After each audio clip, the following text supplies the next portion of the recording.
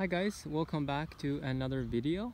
Um, in this video I wanted to show you Corymbia citriodora um, or Eucalyptus citriodora um, but before that let me just show you some really cool Eucalyptus globulus in my background.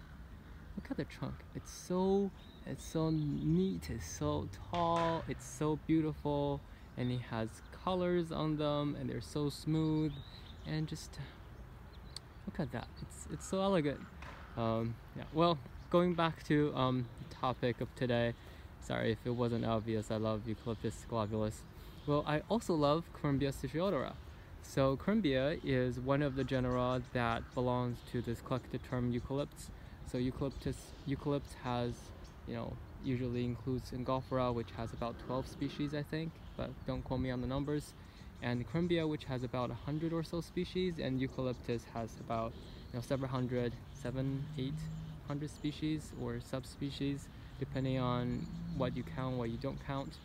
Um, but they're really highly um, they're highly uh, related and they all have this similar structure of their flowers and their buds and their fruits.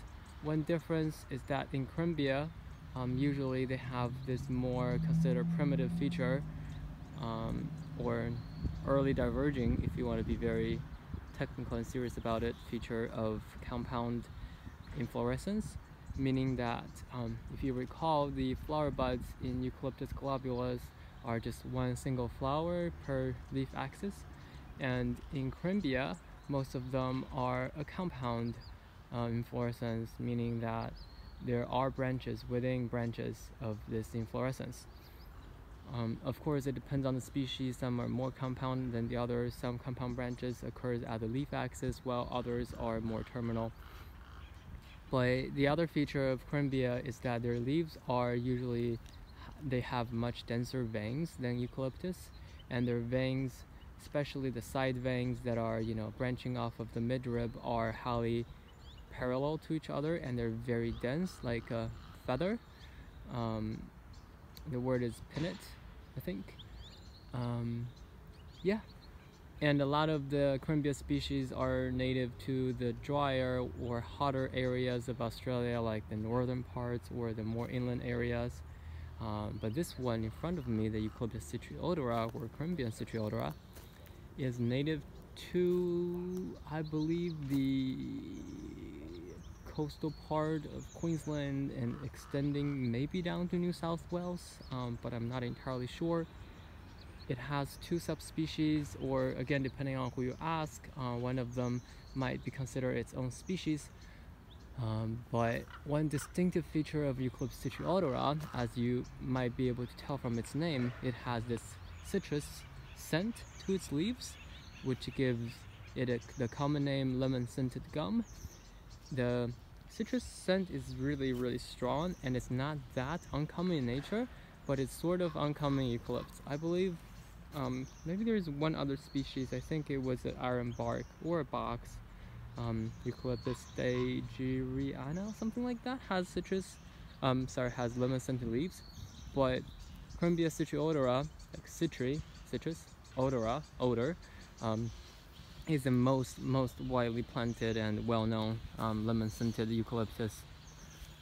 Here is a sort of a young specimen. This tree can get really tall in its native habitat, I believe to maybe 50 meters or so. And it's a really slender tree. It doesn't get that thick, um, but it gets really tall and really nice.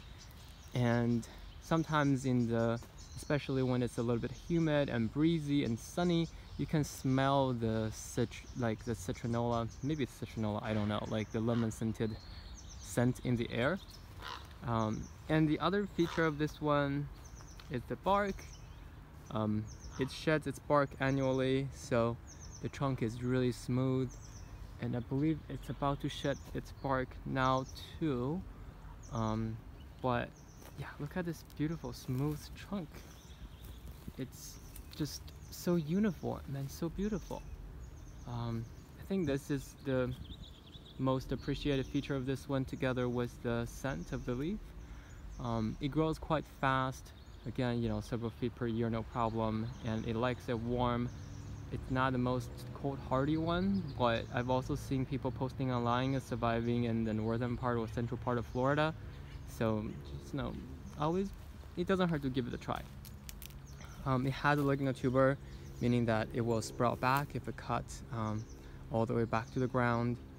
Um, yeah, and I don't know if you can see the flowers higher up, like more towards there. Uh, the lighting may not work in my favor, or the ones over there. Um, but yeah, um, I don't really see a lot of them reaching full size in the in Northern California, but there are lots of them in Southern California. And again, this is Eucalyptus citriodora, lemon scented gum. Look at the beautiful slender trunk. Ah, I can sort of smell it now, now the wind is coming.